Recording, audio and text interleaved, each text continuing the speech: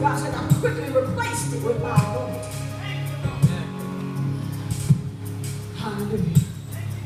I say this and we're going to move on. So now, now,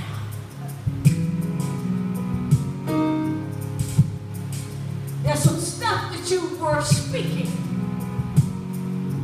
that did not come to pass yet. But because you allowed God to do emergency surgery on you and replace it with the power and the anointing that you need, now speak it and so shall it be.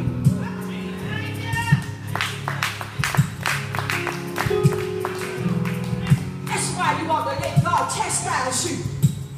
That's why you want to let God deal with you. That's why you can get a blessing after you've been chastised. Because I quickly replaced it with the anointing for you to get what you asked me for.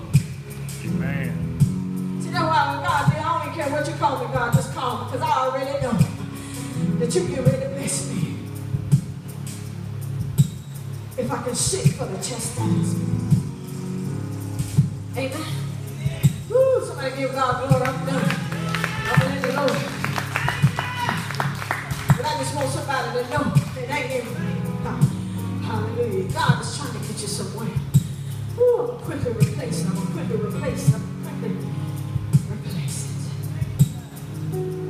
Pastor, would you? Somebody put your hands together for the T12 prayer.